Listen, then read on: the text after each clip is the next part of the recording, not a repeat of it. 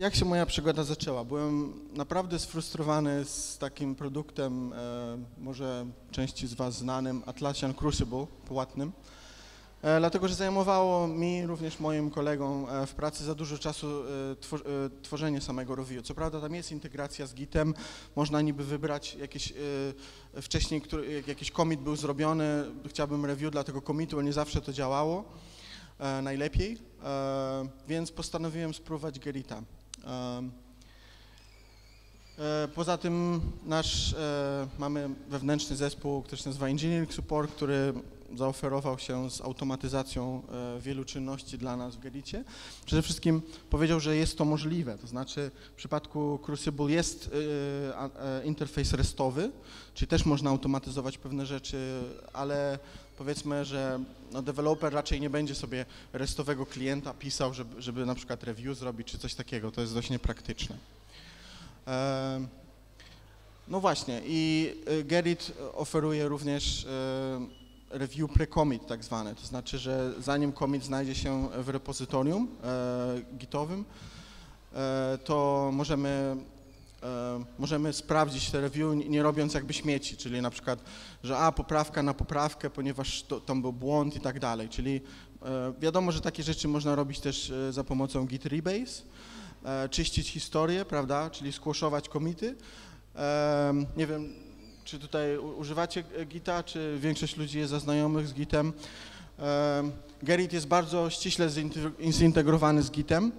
E, Powiedziałbym, że jest do tego stopnia zintegrowany, że żeby zrozumieć e, e, naprawdę dobrze Gerita, trzeba dość dobrze znać Gita. Jeśli ktoś zna tak trochę, to się może trochę pogubić później.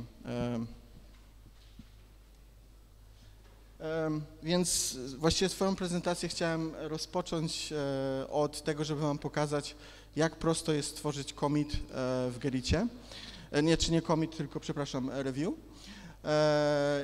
I w stosunku, e, nie mam tutaj może porównania do jak to wygląda w, w przypadku innych rozwiązań, na przykład Atlassian Cruci- Crucible, ale wygląda to w taki sposób, że tutaj jest, prawda, jakiś terminal, ja mam tutaj e, jakiś, e, jakieś repozytorium otwarte, robię git push M7, a M to jest po prostu alias, M7 to jest alias, jak, jakiś tam branch jest i M, do tego, do tego dojdziemy później, tylko chciałem wam pokazać, jak wygląda moja praca na, co, na dzień dzisiejszy. Mam jakieś komity zrobione, tak, i chcę na przykład review ich wysłać.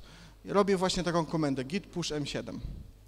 A cały Magic to zaraz, e, zaraz wam pokażę, skąd to się wszystko bierze. Em, czyli, tak jak powiedziałem, że Gerrit pozwala na automatyzację em, takich czynności, które nie chcemy wykonywać e, repetytywnych co, co chwilę. E, no i jest lubiany przez ludzi, którzy lubią automaty- automatyzację. Nie wiem, co, co was na przykład kręci w Gicie czy tam w Linuxie. Ja na przykład uwielbiam automatyzację. Czyli, że możemy sobie jakiś skrypt napisać, raz, dwa coś się zrobi i, i możemy to później e, ponownie odpalać i tak dalej. Git e, posiada interfejs SSH, e, do którego możemy się e, podłączyć jakby i wywołać jak, jakieś komendy.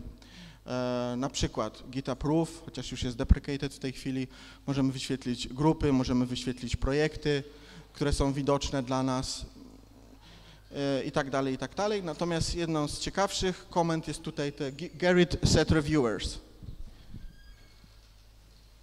Ta komenda. Ta komenda tutaj jest jedną z ciekawszych komend, przynajmniej na, na co dzień w pracy. Nie wiem, czy ktoś zna e, z Was e, self-awareness test, tak zwany mirror test. Słyszeliście o tym? E, wiecie, jakie zwierzęta przechodzą ten test? Oprócz ludzi, jako zwierzęta? Słucham? No, na przykład sroki przechodzą, jest kil, e, delfiny przechodzą, jest kilka, e, kilka zwierząt, które przechodzą. Dlaczego o tym mówię? Bo to nie jest wykład o psychologii, prawda? To, e, tylko chciałem pokazać, e, że jednym z trybów e, pracy e, Gerita jest tryb mirrorowania repozytorium Gita. Jakby są dwa, d- d- e, dwa możliwe tryby pracy. Pierwszy tryb pracy jest, że traktujemy repozytorium Gerita jako nasze repozytorium Gita, e, czyli taki standalone jakby, można by powiedzieć, a drugi rodzaj e, mniej mniej intruzyjny, czyli jeśli mamy już egzystujące repozytorium i chcielibyśmy się zintegrować bardziej e, do, do firmy, za, e, spróbować czegoś, to jest za pomocą właśnie mirrorowania, czyli, czyli Gerrit w tym momencie służy jako, jako repozytorium Gita, które, które jest odbiciem lustrzanym. Dlaczego użyłem tutaj w nawiasach e, klamrowych gated, czyli e, bramka jakby? Dlatego, że e, jak, ponieważ Gerrit mm, jakby pozwala zatrzymać nam wysłanie danego komita do tego końcowego repozytorium, staje się tak jakby bramką w tym momencie w cudzysłowie. Czyli jeśli jakiś programista bądź ktoś uważa, że popsujemy kod albo że wrzucimy baga na produkcję naszą zmianą, wtedy możemy powstrzymać to, czyli ten commit w ogóle nawet nie, nie dojdzie e, do, e, do repozytorium. Stąd ta nazwa gated. Mo, może to nie być zbyt jasne. Tak więc podstawy Gerita. Jak już wspomniałem, e, jest to, Gerit jest pre-commit, co znaczy, że można właściwie reviews robić tylko dla commitów, które jeszcze nie zostały synchronizowane z, z, końcowym repozytorium, jeśli sobie wyobrażymy ten model mirrorowania, bo będę o nim najwięcej opowiadał.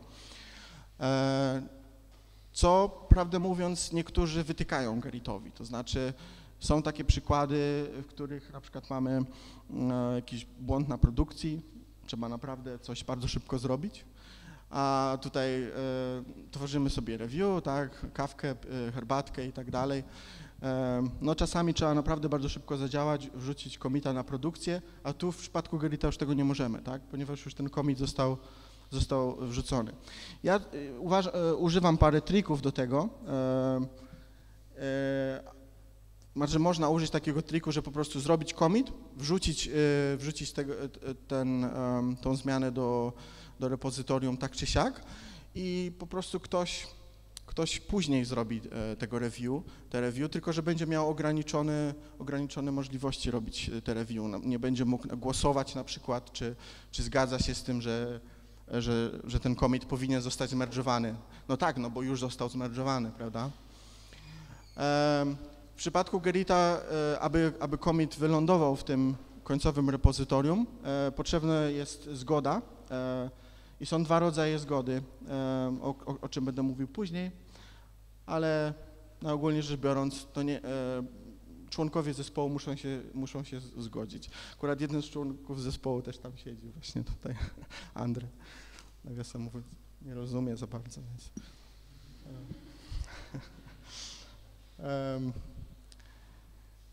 Tak, tak jak wspomniałem, właśnie dość trudno, dość trudno ten model prekomitowy się sprawdza w przypadku naprawdę czegoś, jakichś problemów na produkcji, które teraz się dzieją i mamy naprawdę, e, musimy zareagować szybko.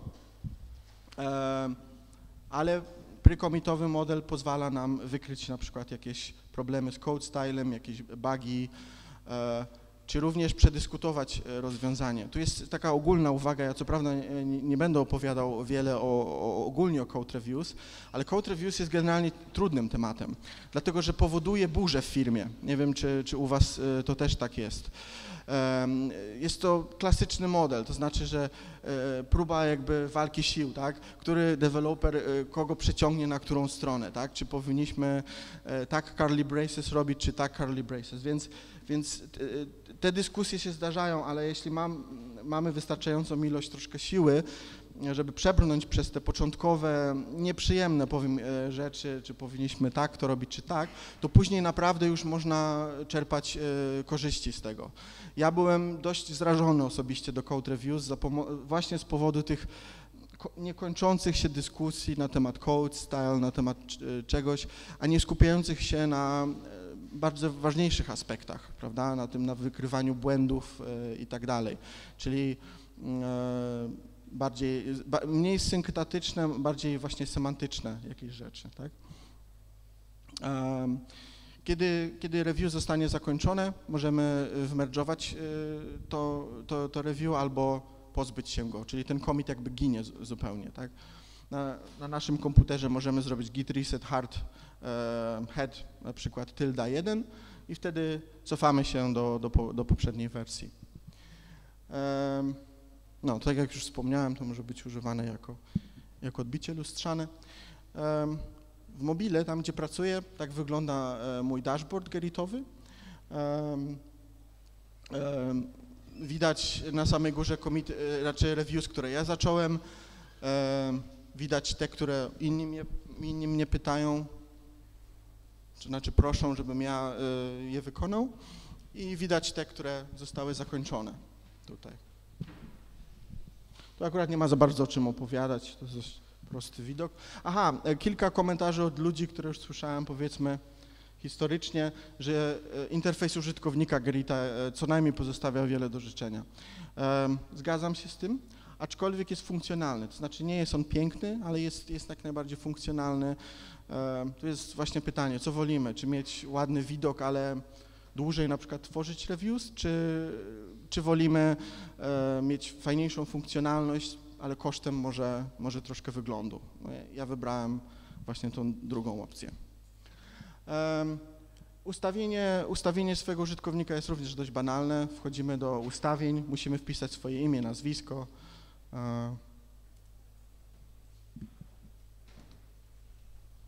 I dodać swój klucz SSH. Publiczny oczywiście. To jest, to jest przykładowe, przykładowe demo e, e, Ge- Gerita. Jak widać tutaj, e,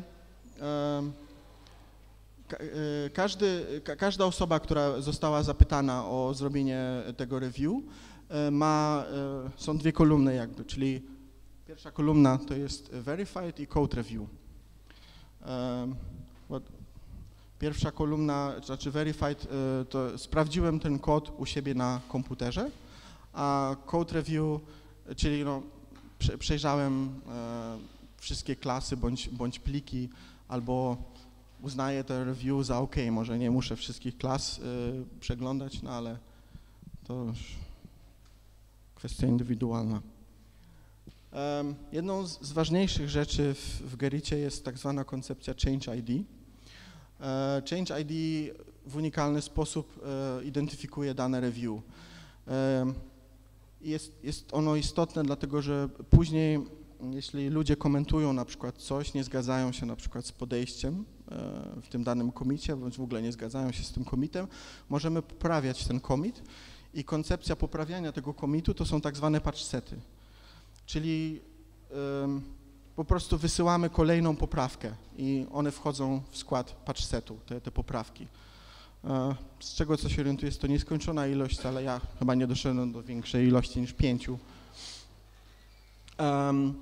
Change ID jest wymagany na, na końcu e, commita. E, Musimy wkleić taką inf, e, tą informację. Możemy to zrobić w sposób manualny, właśnie tutaj pokazuję, że jest Change ID, jakiś ma SHA czy MD5 sumę, nie wiem co to jest i, i, napis, i nacisnąłem Copit. No ale nie jest to zbyt wygodne, poka pokażę lepsze metody, e, automatyzację tego. No właśnie, ka każdy review może, może zawierać wiele e, patch setów e, przed tym, kiedy to zostanie wmerdżowane. Tutaj widzimy, jest przykład właśnie, mamy, mamy dwa patch sety, mają jakieś e, identyfikatory swoje unikalne, to nie są Change ID, to są jakieś identyfikatory, identyfikatory unikalne i możemy sobie porównać, powiedzmy, jaka była zmiana dewelopera między jednym patchsetem a drugim patchsetem. Mm, Więc interfejs webowy jak najbardziej to umożliwia. Jak wspominałem, weryfikacja to oznacza, że użytkownik przetestował jakiś kod. Z reguły deweloperzy rzadko kiedy testują nawzajem swój kod, po prostu nie ma na to czasu. Natomiast chyba, że, chyba, że wykonują jakby rolę e, quality assurance, czyli testera, E, ale testerzy testują e, czasami zmianę i wtedy mogą dodać na przykład plus jeden, czyli zweryfikowałem tą zmianę, ona funkcjonuje. A takim klasycznym przykładem weryfikatora jest Jenkins, bo jest również plugin do Jenkinsa, który, który jest takim wirtualnym jakby weryfikatorem, odpala e, testy jednostkowe, w ogóle sprawdza, czy to się kompiluje w ogóle. Jeśli, jeśli, jeśli, się, jeśli się kompiluje i testy jednostkowe przechodzą, wtedy on również daje plu- plusika swojego. E, no, oczywiście użytkownik może e, komentować. Jest, jest, kilka, jest kilka rodzajów zgody, jakby na, na, którą można wyrazić. Pierwsza to jest naprawdę się zgadzam, zmiana jest super, którą zrobiłeś. Będę Cię wspierał w niej, bo tak mi się podoba. E, e, Plus jeden oznacza, że zmiana jest w porządku, brak w wyniku, nie mogę się ustosunkować. Minus, minus jeden, wolałbym, żebyś tego nie wysyłał. I minus dwa, nie wysyłaj tego, na pewno. Em, tutaj mam jakieś, jakąś przykładową zmianę, znaczy jakiś przykładowy review. Jak widzicie, e, no st- standardowo, czyli mamy jakieś pliki, coś tam pozmieniałem, ludzie dodali jakieś komentarze, tam na samym końcu jest kolumna, która, e, która, e, kt- która jest dla nas tylko i mówi nam, które pliki już przejrzeliśmy.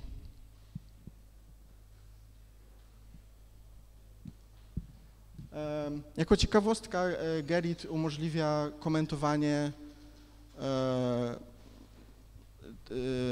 wiadomości, które się dorzuca, czyli e, commit message tak, e, tak zwanego. E, Większość systemów e, do rewizji kodu nie umożliwia tego. e, Jest to dość przydatne. Czasami można upomnieć, na przykład, nie wiem jak wy, u nas są standardy, żeby zawsze tiketa na przykład wrzucać i tak dalej, więc można e, na przykład upomnieć kogoś, że zapomniał numeru tiketa e, z, z Jiry czy z innego e, backtrackera.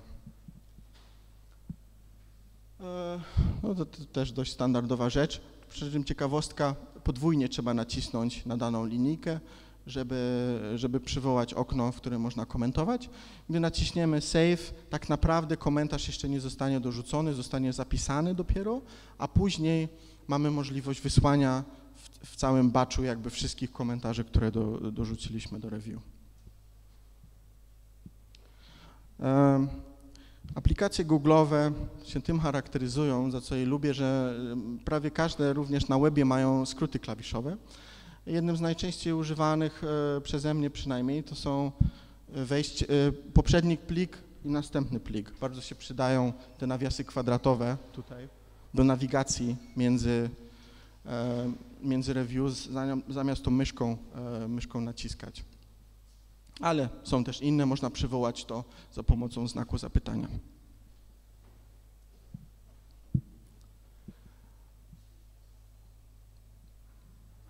Tak, tak jak wspomniałem, kiedy, kiedy, y, kiedy z, y, zrobimy y, review geritowe, ta, ta zmiana nie ląduje jeszcze w końcowym repozytorium, tylko znajduje się w takim stanie pomiędzy, właściwie na serwerze Gerita tylko.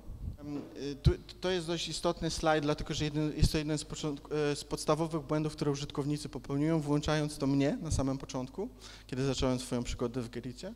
Dlatego, że mamy sobie, mamy sobie okno e, i kończymy jakby review, teraz tylko chcemy dodać cover message, cover message czyli chcemy powiedzieć, no okej, w porządku albo nie w porządku, albo nawet nic powiedzieć, tu mamy dwa przyciski, prawda? Jeden to jest publish comments, drugi to jest publish and submit.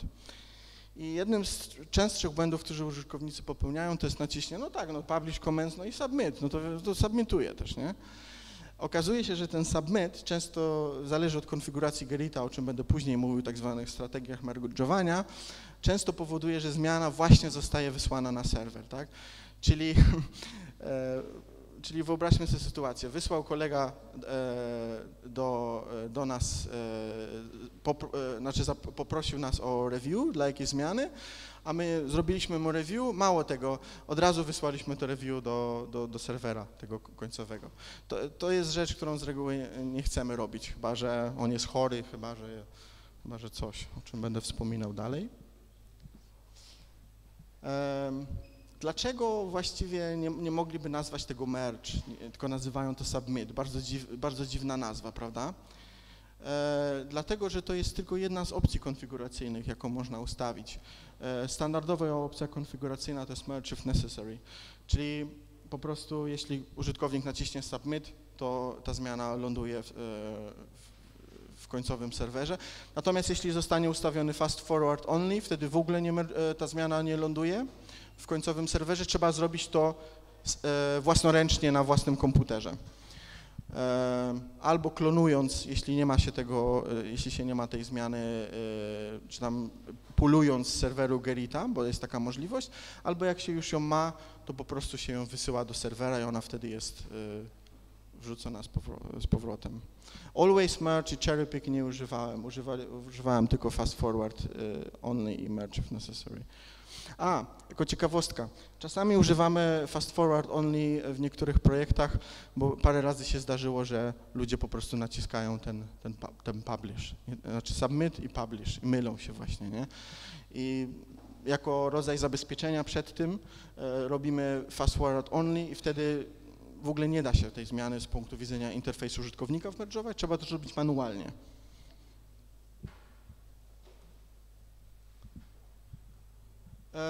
No właśnie, teraz będziemy przechodzili do tej części automatyzacyjnej bardziej. To znaczy, jak to, jak to ja magicznie zrobiłem sobie git push M1, i, czy tam M7 na początku i, i, cały, i, i cała review zostało stworzone, e, ludzie zostali powiadomieni i ja mogę się zająć nowym taskiem, zupełnie nowym zadaniem. No właśnie, e, tą rzecz możemy zrobić za pomocą e, lokalnego pliku gerit config.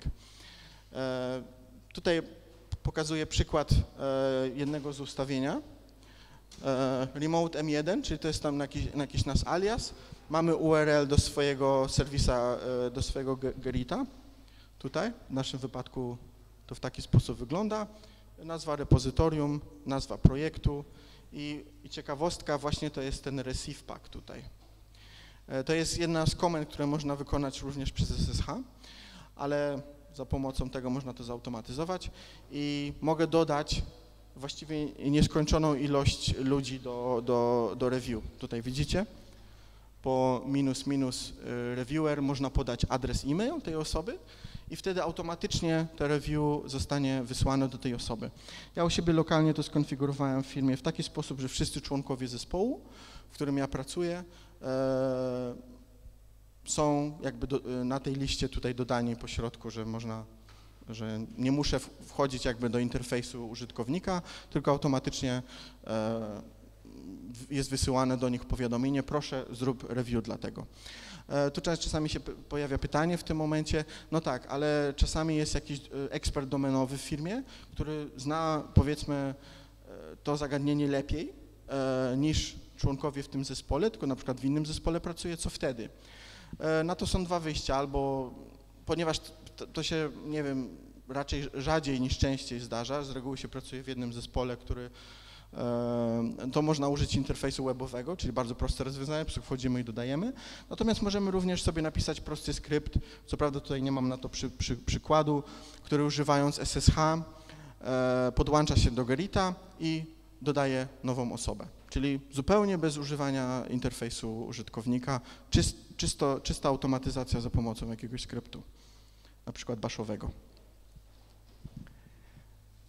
E, e, Gerrit używa takiej specjalnej notacji tutaj, refs for, którą jeśli zrobicie sobie aliasy, tak jak ja sobie to zrobiłem, to nie musicie tego w ogóle pamiętać. Muszę powiedzieć, że jest to jedna z rzeczy, która odstrasza ludzi w Gericie, dlatego że no tak, e, muszą pamiętać te jakieś dziwne rzeczy, to jest jakiś w ogóle inny serwer czy coś takiego. To można wszystko załatwić w, w pliku git config i symulować jakby pracę e, z repozytorium Gerita, tak jakby to było zwykłe repozytorium gitowe, bez jakichś specjalnych, e, specjalnych rzeczy więc można jakby to, to odstraszenie e, geritowe usunąć. Teraz nie wiem, czy pamiętacie, wspominałem o Change ID, czyli że jest to coś, co unikalnie identyfikuje dany, dane, dane review. Normalnie to Change ID jakby bez automatyzacji dodaje się w taki sposób, że po prostu tworzymy komita, wchodzimy e, na interfejs webowy, tak, E, i znaczy tworzymy, e, wchodzimy na interfejs webowy i musimy dodać do naszego komita za pomocą na przykład amend, czy nawet wcześniej ten change ID, czyli ten, ten, ten długi jakiś identyfikator, który identyfikuje to review, żeby Gerrit później mógł identyfikować to. Ale prawda jest taka, że nie trzeba tego robić. e, dlatego że można sobie to zautomatyzować. E, Za pomocą komendy SCP, e, podając, podając port i nazwę serwera ge- geritowego, możemy się podłączyć do hooks i ściągnąć sobie coś, co się nazywa commit message. Czyli jest to, jest to, jest to hook post-commitowy jakby. I ściągnąć go sobie tutaj, jak widzicie, do lokalnego katalogu .git.hooks. E, To spowoduje, że, że, że ten hook zostanie skopiowany do, e, do, do, naszego lokalnego, do naszego lokalnego projektu, do katalogu .git. E, Tutaj po- pokazuję przykład, jak ten, jak ten katalog normalnie wygląda. Jak widzicie, większość tam jest przykładów jakichś, ale również nasz commit, commit message tam wylądował, który właśnie skopiowaliśmy z tego serwera.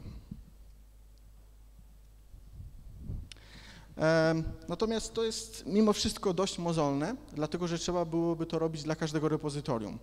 Na szczęście Git od wersji 1.7.1 u- udostępnia bardzo fajną funkcjonalność, w której można zgrupować jakby te swoje wszystkie commit hooki czy, czy, różne, czy różnego rodzaju tego typu rzeczy w jednym katalogu i, i dzielić je między poszczególnymi e, repozytoriami.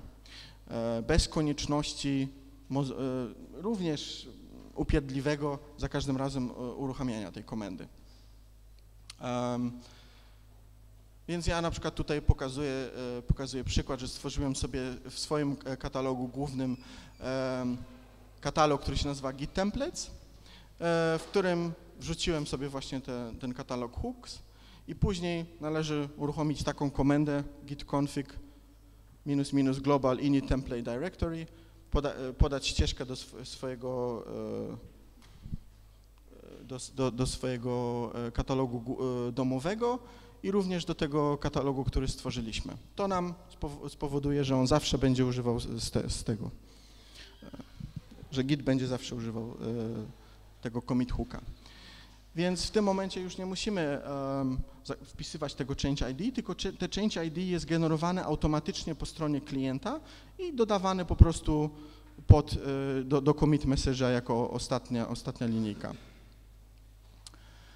Em, Właśnie, ale ktoś by zapytał, no tak, ale w jaki sposób ja mogę tworzyć e, nowe, nowe patchsety? Po co, po co mi te commit hooki? One, e, znaczy po co mi te change ID? One się przydają tylko wtedy, kiedy, e, kiedy będziemy chcieli dodatko, dodatkową zmianę wrzucić, a, na, a właściwie nie wiemy, czy będziemy chcieli, tak? Jeżeli na- nasze review przejdzie przez, e, przez wszystkie osoby i wszyscy się zgodzą, to nie musimy w ogóle tworzyć nowego, e, no- nowego patchseta, ale tego nie możemy wiedzieć. Dlatego trzeba jakby wcześniej przygotować się już do tego i sobie wygenerować to change ID, żeby później już nie musieć tego robić. Więc później, jeżeli e, powiedzmy wprowadzimy jakieś poprawki, możemy użyć git commit minus minus amend i wtedy amend, e, znaczy wtedy jakby e, wprowadzamy poprawki do tego e, commita, wysyłamy to na serwer, e, na serwer Gerita, ale nie, nadal ta poprawka jeszcze nie jest w końcowym repozytorium, ona nadal jest do kolejnego review. To musi być ko- kolejny raz sprawdzone. Tutaj raz zadał mi ktoś bardzo, bardzo ciekawe pytanie. No właśnie, ale czy, tutaj ten ostatni punkt, czy, czy używanie git commit amend nie, nie jest przypadkiem jakby hakowaniem gita? Dlaczego? Dlatego, że e, nie wiem, czy kojarzycie tą komendę, mam nadzieję, ale generalnie chodzi o to, że zmieniamy sw- swoje lokalne zmiany, dopóki te zmiany nie zostały wysłane na serwer e, jakiś tam, czyli zdalny serwer gdzieś. E, a tutaj nagle mamy taki przykład, w którym robimy amend, commita, a, a- wysyłamy go do serweru, e, do serweru Gerita. Czyli tak naprawdę robimy coś e, przeciwnego niż książki Gita, powiedzmy, by powiedziały, czy tutoriale, tak? E, nie jest to hack tak naprawdę, dlatego że, że Gerit jest serwerem po, pomiędzy e, końcowym ser, e, serwerem, więc, więc inni deweloperzy nie ściągnęli sobie jeszcze e, jakby tej zmiany, e, czy, czy, czy tam continuous integration serwery nie, nie ściągnęły sobie tej zmiany, więc nie nadpisujemy jakby historii, nie zmieniamy historii, bo ta historia jeszcze nie została zapisana. Nie wiem, czy to jest jasne, mam nadzieję.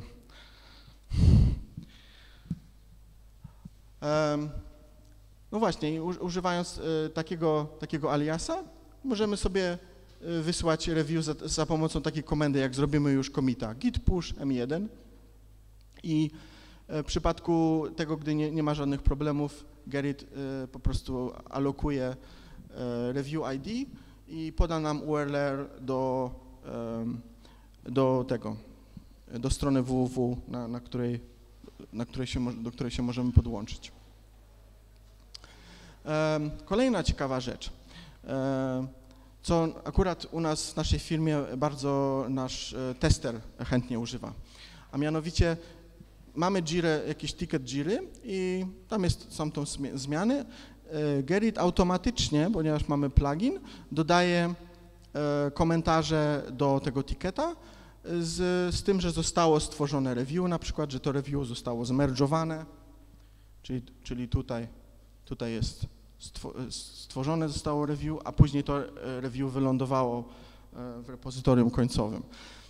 Okazuje się, że po prostu nasz tester lubi sobie, oprócz tego, że oczywiście sprawdza, czy funkcjonalność działa, przechodzić i patrzeć, co, ile klas zostało zmienionych, ile plików zostało zmienionych, na ile, e, na ile musi testy regresyjne odpalać, czy to jest bardzo zlokalizowana zmiana, czy to jest, czy, czy to jest zmiana, która, która dotyczy wielu plików i może wiele problemów wywołać.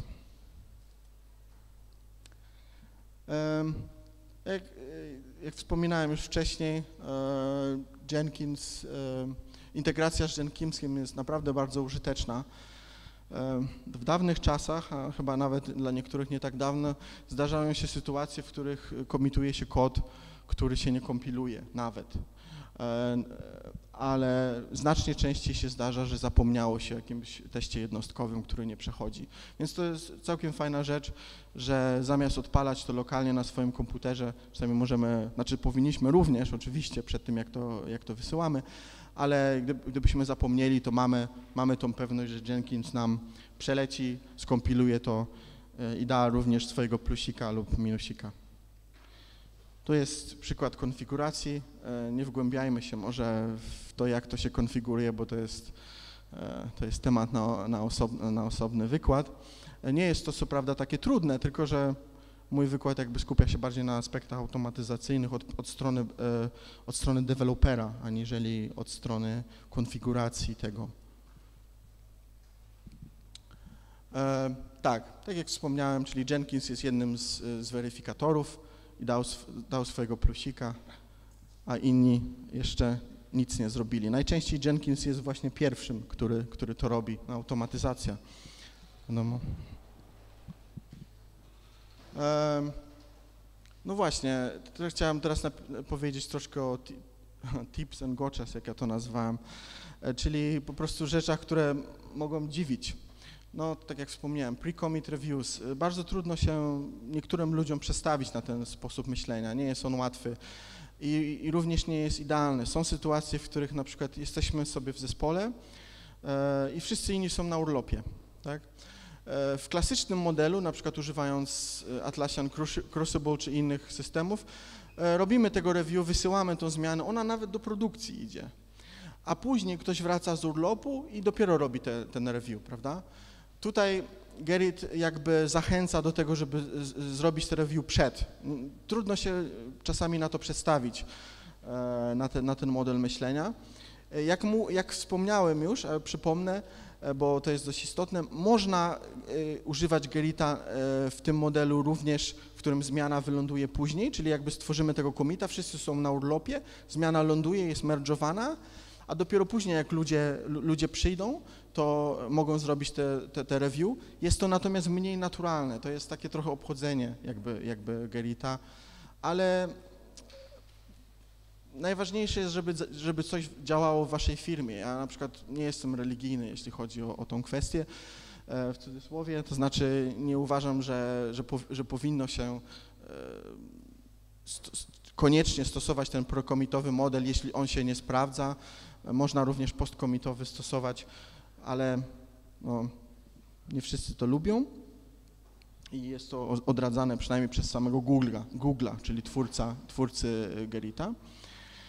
Em, No właśnie, tak jak wspomniałem, kolejna rzecz, która myli bardzo często, to jest ten submit strategy, czyli ludzie naciskają publish and submit. W tym momencie zmiana od razu ląduje. Nie jest to zbyt intuicyjne e, ze strony Gerita, ale jest to jakaś tam rzecz, której się trzeba po prostu nauczyć, rozumieć, co to robi i, i już. I tutaj taka rekomendacja, jeśli się zdecydujecie spróbować z Geritem albo już pracujecie z nim, e, ten model pre-commitowy sprawdza się bardzo fajnie, jeśli się szybko robi review.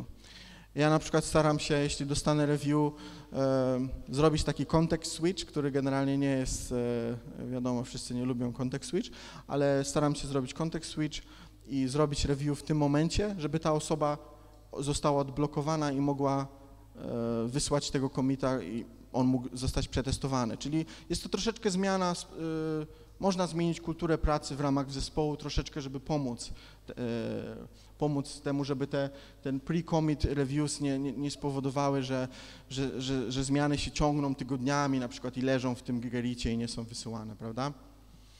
E, I ostatnia, ostatnia rzecz, e, tutaj z tych takich, z takich goczas, zdarzają się takie sytuacje, e, nie wiem, czy używacie takiego modelu, e, e, czy, czy wszyscy branchują z mastera, czy niektórzy tylko samym masterem pracują.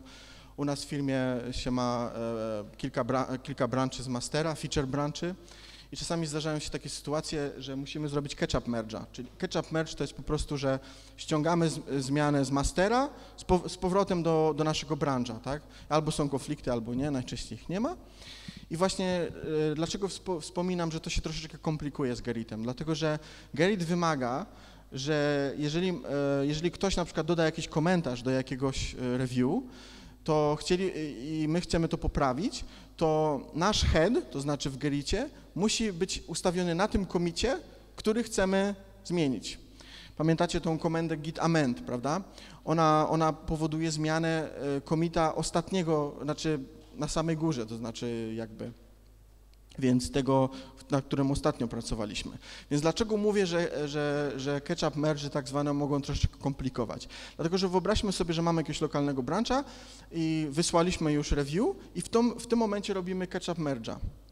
W tym momencie nad, napis, nadpisują, znaczy nad naszym komitem pojawiają się nowe komity wyżej, czyli zaburzyliśmy jakby tą swoją równowagę. E, ale e, oczywiście Gerrit umożliwia jak najbardziej e, dalej jakby wysłanie patch setów do tego, tylko musimy wejść sobie na interfejs użytkownika wtedy i nie wiem, chyba może jeden slajd zgubiłem. Tam był, tam był przykład, albo pokażę to po prostu na żywo. Czyż nie, bo musiałbym się podłączyć tutaj do VPN-a i tak dalej. W każdym razie, no nieważne. Em, można wybrać sobie, w jaki sposób chcielibyśmy tą zmianę ściągnąć z serwera e, Gelit. Są cztery strategie. Pierwsza to jest pull, e, cherry pickować można, e, checkouta można zrobić, czyli tworzy takiego brancha bez nazwy i wtedy ten commit jest na samej górze. I wtedy możemy go zmienić i, i wrzucić. E, kolejną poprawkę do kolejnego review. Więc muszę przyznać, że, że to troszeczkę czasami komplikuje. U nas w firmie e, te, te problemy związane z ketchup merge'ami i to, że trzeba jakieś specjalne branche robić czy cherry pickować, coś tam, e, to ludzie się musieli troszkę dłużej tego uczyć. To znaczy, to jest taka trudniejsza rzecz. E, Taki tam double click, żeby dodać komentarz, zaraz chwileczkę, żeby dodać komentarz, to jest jasne, właśnie nie musiał wielkiej prezentacji do tego robić, ale właśnie, właśnie ta kwestia z, z, z braniem tego komita później, ponieważ historia została zapisana, troszeczkę wprowadza ludzi w stan zakłopotania, bym powiedział w ten sposób. Strona Gerita jest taka, jeżeli chcecie się ze mną skontaktować. Szczególnie nie zdziwiłbym się, gdyby ktoś był zainteresowany tym przy, przykładowym plikiem git-config, w którym mam skonfigurowane te e, członków zespołu, którzy automatycznie na przykład dostają, dostają te, te, tego Gerita. U mnie, u mnie w firmie właściwie ten mój git config się rozszedł, rozszedł jak ciepłe bułeczki, w tym sensie, że ludzie po prostu tylko kopiowali to i dostosowali do, do swojego własnego zespołu, swoich własnych członków zespołu dodawali tam, i, a później sobie już tylko wysyłali reviews.